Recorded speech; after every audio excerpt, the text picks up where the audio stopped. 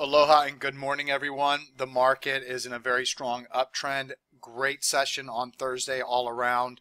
The futures market look good. The, right now, as I make this video, the futures market looks really good. S&P 500, Dow Jones Industrial Average, and Nasdaq's up about 0.15% after hours. The Russell 2000's up. Russell 2000 is up about 0.25%. The S&P 500 is hitting new highs. The NYSE is hitting new highs. The Dow Jones Industrial Average is hitting new highs.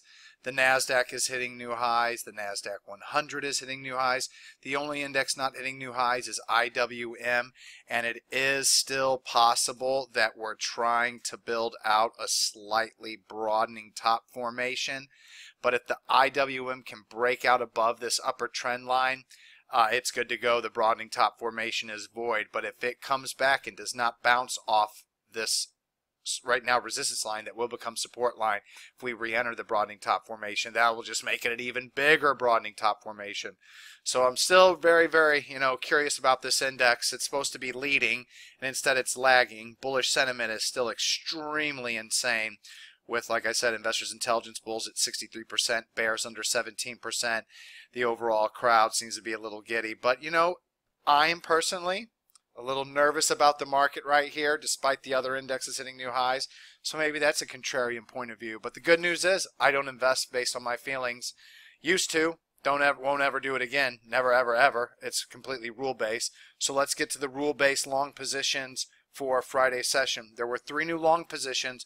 The highest quality one of the bunch is TEDU. Ted U is basically bouncing off a strong support level right here.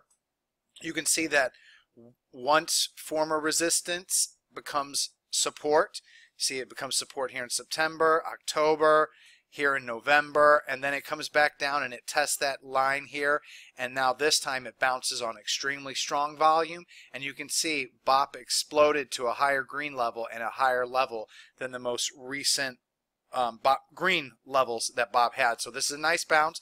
This is a high quality can slim quality stock. It was initially flagged in my CAN Slim scan. It was also confirmed in my price volume BOP scan, and it was also my tertiary scan. So it's a guaranteed new long position. So two top scans, and then confirmed a third one. And the signal is great. The high volume, the volume surge, the BOP surge, the bounce right off the support line. If we're wrong, it's very, very clear where our stop loss is. A move below 1405, I will be completely out of TEDU. My limit order will be at 1445. Since it was a can slim stock, that's 2% and 1% more for bringing the price volume BOP for a 3% long position. The other new long this evening is a very thin name, but it's a high quality name. Let me make this a little bit bigger. Or whatever. What do I got to do to get the, uh, I want to see the high day close in this. But I guess there we go. Okay, so you can now you can see that it's closing at 2070 after opening at 2065. MLVF is a former CAN Slim quality stock. It's I haven't updated my CAN Slim scan in a long time, so it remained in that scan. So it was initially flagged in my CAN Slim scan. But then it also showed up in my max green BOP for five days scan, and it was also in my tertiary scan. So technically it was in three scans, but MLVF is no longer a CAN Slim quality stock, but it was, and it probably will be again. And after an, a note offering today or something like that, huge volume surge with BOP remaining max green. We have back-to-back pocket pivot point signal days with a nearly bullish engulfing candle with the, us closing higher than where we open. So like I said, it was in three scans. The signal is a back-to-back pocket pivot point signal, huge volume surge with max green bop and max green bop for the past five days, and a nice candle move with the stock closing near the highs. I will be going long with a limit order at 2075, and my final cut loss level will be 2005, and it's my only cut loss level. So if it trades below 2005, I'll be out at MLVF on a closing basis only. Remember, small cap regional bank stocks never get hard stops on the books. I've been shaken out before. I made a mistake recently and accidentally set stops on GABC. Just uh, it's instinctively without thinking, and half of it got hit. And of course, GABC is higher now, just to show you. So that is why I always like to obey the rule of no stops ever on regional bank stocks. So if it closes below excuse me, MLVF. If it closes below 2005, I will be completely out.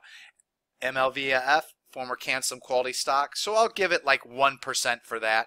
Also, if it was traded 50,000 shares per day, it would have made my price volume BOP surge scan. So I'll give it like, you know, kind of like a percent for that, I guess you could say. And then it was also, like I said, in the BOP scan. So 10 or half percent for each of those two scans. So let's do it the real way. 1% for being in my max green BOP scan. It was also confirmed in my tertiary scan, so we can take it. And then I'll give it like 0.5% for being a former CAN Slim quality stock and knowing that it will be one in the future. And I'll also give it 0.5% for being a price volume BOP surge scan quality stock. It just didn't meet the volume requirements. My scan tries to cut the number of stocks I look down first before I go to my bigger, more broad scan, and it rules out all stocks that don't average at least 50,000 shares per day. But if this one did, it would have made it. So 0.5 for former CAN Slim, 0.5 for price volume BOP, 1% for BOP scan total of a 2% new long position for MLVF. And then the final long position is an add signal in EGBN. This is actually the highest quality signal this evening. EGBN was in my CAN Slim quality scan. It was in my price volume BOP surge scan. And it was in my green BOP for 20 day scan. So that's three legitimate scans. And then it was also my tertiary volume BOP um, price move higher scan volume's got to be over the 50 day volume average. So it was in four total scans, so that's really good. The signal is a pocket pivot point signal through the 50 day moving average. This pocket pivot point signal is coming with a surge in green BOP to max green BOP, and it's gapping above the 5, 10, 20, and 50 day moving average. If our first cut loss level is a move below 60.90 and our final cut loss level is a move below 59.25, that gives us a great possible over 4 to 1 risk reward ratio looking at a measured move from here November to the December highs of 33%. You could use today's low a day as your final cut loss on the position if you want to, but I'm going to give EGBN room to work because this is a very heavy accumulation signal. I really like the chart pattern, so I definitely want to use two different stops, 60.90 and 59.25 on this one. My limit order will be at 62.20. So 2% for CAN Slim, 1% for being uh, in the BOP for green BOP for 20 day scan, 1% for being price volume BOP. That's a total of 4%. Since it's an add signal, we half it, so it's 2% of my account capital in this long signal. And don't forget, for the past three weeks, all I've been doing is having stops hit intraday on stocks that I raise stops on and or stocks that, that hit my final cut loss level like iRobot gap down this morning below both my stops so I removed one just made one stop which was this low right here. It opened and knocked me out of the entire position. I'm now moving that capital along with some other capital raise like from UVXY TVIX and moving that into the new long position. So even though MLVF is 2% EGBN is 2% and TEDU is 3% I obviously will have to split whatever capital I have remaining into these positions, but I've remained fully invested for three weeks, just moving capital around. All right, everyone.